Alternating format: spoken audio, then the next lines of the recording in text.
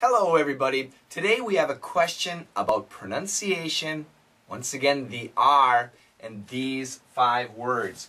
Four, turkey, birds, burgers, purple. This is so tough. The R sound is tough. Remember, watch my other R videos. But basically, the tongue has to have some power. It's pointing upwards, so this is your mouth. These are your upper teeth. These are your lower teeth. And the first word, four, four, the tongue is pointing right here. For, the, the tongue is down. For, this is the tongue movement. For, not touching anything.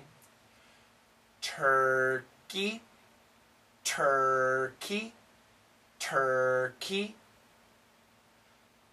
birds, birds, burgers, burgers, purple, purple.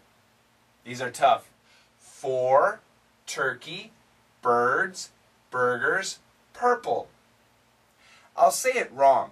For, for, no. Four, tucky, tucky, no turkey, buds, buds, no, birds, bogos, bogos, no, burgers, burgers, purple, purple, no, purple, purple.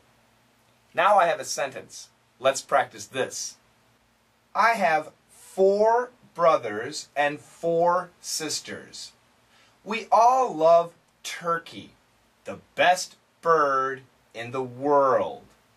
I also love cheeseburgers with purple onions.